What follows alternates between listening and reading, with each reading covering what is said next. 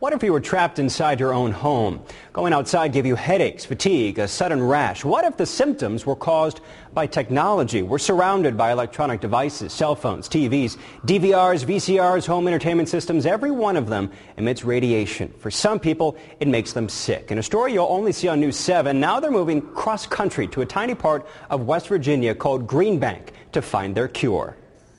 It's difficult for me to know that it's an affliction that can be shared with anyone. Anyone can get this.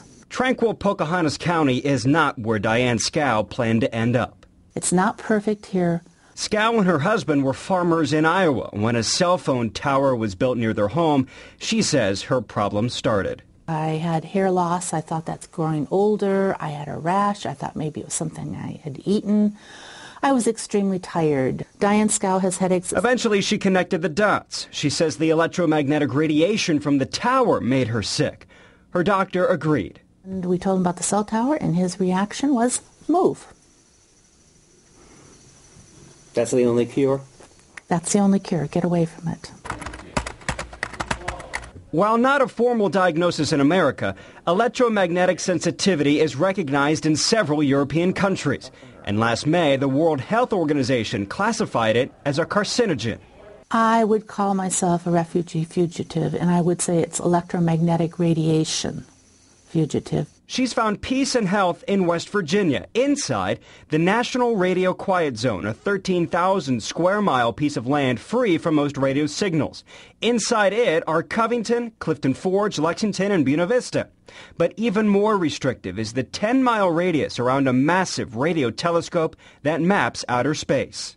This is the Green Bank Telescope, and without it, there'd be no quiet zone. It's taller than the Statue of Liberty and receives radio waves from across the universe.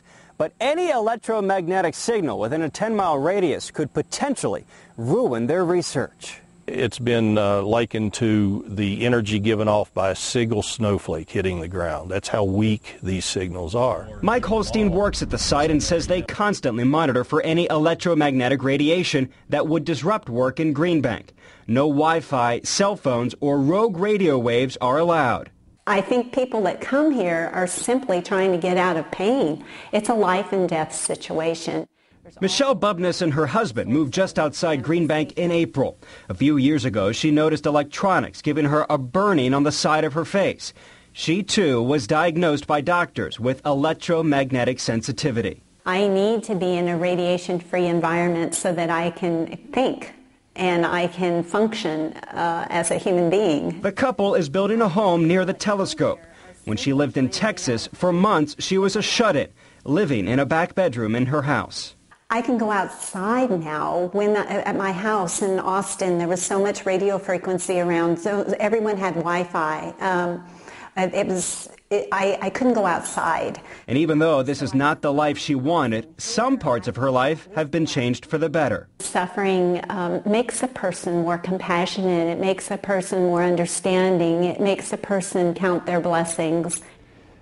There aren't steadfast estimates on how many people suffer from electromagnetic sensitivity, but health organizations around the world put it between 2 and 5 percent of people. People in Green Bank say only a handful have moved to the area to seek relief, but all expect more to move there in the future.